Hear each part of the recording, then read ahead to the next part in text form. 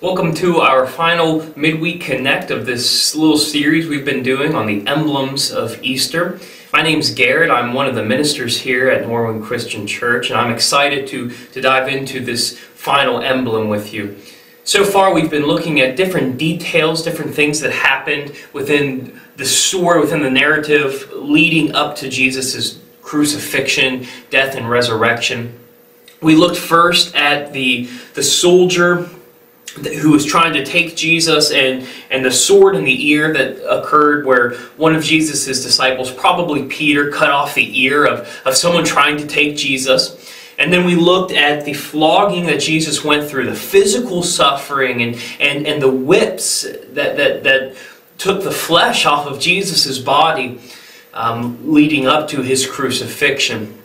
After that, Jeff went through the vinegar sponge, the sour wine, and the hyssop branch that was extended to Jesus as he was thirsty upon the cross.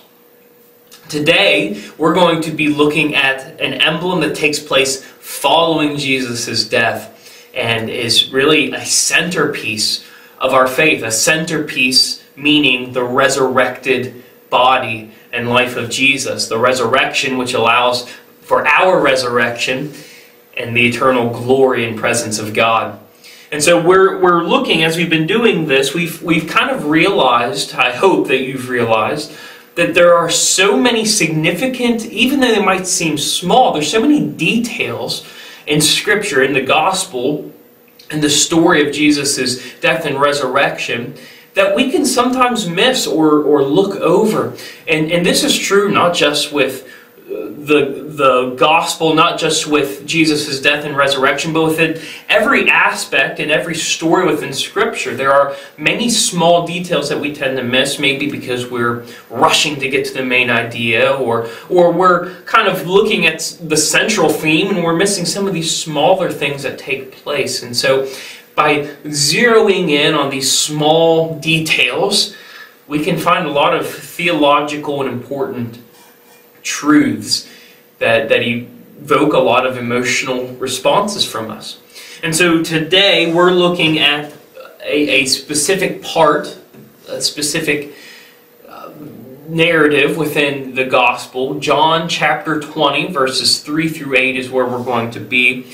And we're seeing the resurrection through the lens of John and Peter. Now, leading up to this, what's happened is that Mary and, and other women who had followed Jesus had gone to the tomb the day after Sabbath because you weren't permitted to be around a dead body on the Sabbath. So Jesus would have died on a Friday and he would have died before the sun went down, which meant that he died prior to Sabbath. But as soon as that the sun went down and the, moons, the, the moon rose in the sky, it was Sabbath, which meant that there were restrictions on what you could do during the day, what you could do as you were celebrating Sabbath, and the women who would have gone and prepared the body, who would have put spices on the body, who would have ensured that everything was wrapped and, and done the way it needed to, to be, they wouldn't have been able to do that on Saturday, so they went early in the morning on Sunday. As soon as Sabbath is over, as soon as the sun rose or the moon set, they went to do this. And lo and behold, what did they find? The tomb was empty. The stone was rolled away. There was linen cloths lying on the ground. And so Mary went back and told the disciples. And so that's where we pick up here in verse 3. It says, At that, Peter and the other disciple went out, heading for the tomb. The two were running together. But the other disciple outran Peter and got to the tomb first. So remember, we said details are important, small details, things that we might miss. And, and one of the coolest details in this is that John tells us that he outran Peter. It's like it's like a low key brag that he's saying, "Listen, I'm faster than Peter. You guys think Peter's so cool? I, I'm faster than him. It's like little kids running a race. You you beat them at recess, and now the whole school has to know that you're faster than such and such." So John is telling us that he's faster than Peter, but that's not even the most significant little detail here. The most significant detail is the fact that they ran. You see, in first century uh, Palestine, a, a Palestinian man, it would have been undignified to run. Jesus gives the parable of the prodigal son, and the father runs out to meet the son when he returns. Now, the undignified nature of the father accepting the son, it wasn't just that he accepted the son, it was that he ran. He full on sprinted to the son. That's undignified. A grown man in Palestine doesn't run, they walk. They're dignified, they, they're calm. Not Peter and John. At the first sound that something might have happened to Jesus' body, you know, it's likely at this point it wasn't even running through their mind that Jesus had resurrected from the dead. They were just afraid something had happened to Jesus' body. And as soon as they hear that, they take off, they sprint, they run to the tomb.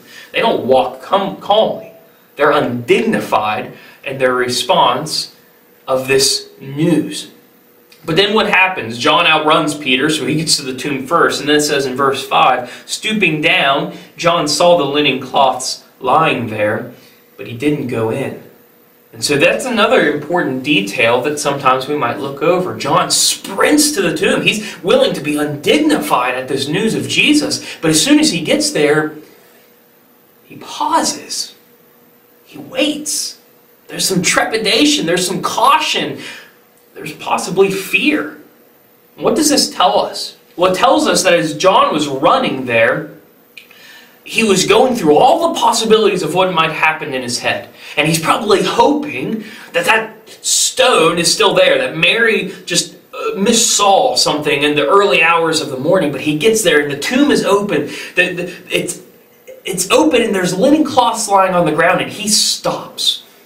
Because in his head, one of three things has happened. Either someone has stolen Jesus' body, which is sacrilegious, which is just an abomination, an abominable, abominable thing to have done. Or Jesus was ripped open or taken away by some wild animal. Or maybe Jesus had just disappeared. It's happened to holy men in the past, right? Elijah, Enoch. John didn't know what to think. He was cautious, and, and he gets to the tomb and he realized something had happened, but he's he's cautious. He doesn't want to go in yet. He doesn't want to face what might have happened. But that doesn't stop Peter. You know, Peter's the brazen guy that's willing to go out and walk on water. He's bold. He makes bold statements all the time. Why not just rush headfirst into the tomb? And so Peter rushes into the tomb. And it says in verse 6 Then following him, Simon Peter also came. He entered the tomb and saw the linen cloths lying there. The wrapping that had been on the on Jesus' head was not lying with the other linen cloths, but was folded up in a separate place by itself. And that's a significant point.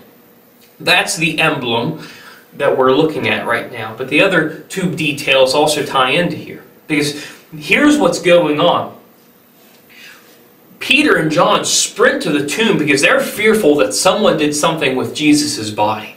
They're willing to be undignified because they don't want anything to have disrupted this place. But also in the back of their minds, they're thinking, what if, what if he's not dead?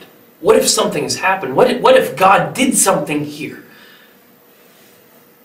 And John gets there and he realizes something did happen. But he's, he's cautious. Because what if Jesus didn't resurrect, what if someone stole the body? What if a wild animal got in here? And then Peter goes in and John follows suit, and they realize Jesus is alive. Now, what makes them realize this? It's the fact that the linen cloths are all still there, and that the cloth that was covering Jesus' face, it's folded in a separate place. Because if Jesus' body had been taken, the linen cloths wouldn't be there. A, a, Jewish person would not have taken the body of Jesus and unwrapped that body and then carried him out. They would have carried him out with the linen coverings. Because it's already sacrilegious to touch a dead body, let alone the flesh of one. Now, Jesus' linens wouldn't have been left, they would have been gone with the body. If a wild animal had gone there, the linens would have been torn to shreds not folded up neatly. If Jesus had just evaporated, then the linens would all be lying in the same exact place that Jesus was. But what do we see? The linens are lying on the, the lying on the ground, and the face covering is folded up in a separate place. What this means is that Jesus, his body, had regained breath. That after these three days of lying there, Jesus just got up. And he got up, he took the face covering off, he folded it, he set it aside, he let the other linens fall off to the ground, he moved the stone, and he walked out of the grave. John and Peter see the linen cloths, and they know what had happened. Jesus, the Son of God, had rose from death. And now he calls us to do the same. And that's, that's what we celebrated this past Sunday on Resurrection Sunday. We celebrated Jesus' resurrection, but we also celebrate the fact that now that he's resurrected, he asks us to follow suit, to accept his atoning death, to accept what he did on the cross, so that like his resurrection, we will resurrect. We will forever be in the presence of God. So, as we've come to a conclusion on the emblems of Easter, I hope that, that you reflect on this as well. That you reflect on what the linen cloths mean as they lay there in a pole on the floor and the face covering folded to the side, that Jesus got up. And He calls us to do the same. He promises us an eternity with Him in His presence forever because of His resurrection. Thank you for joining alongside us as we've looked at these emblems of Easter. And I look forward to worshiping with you this coming Sunday. Have a good rest of your week.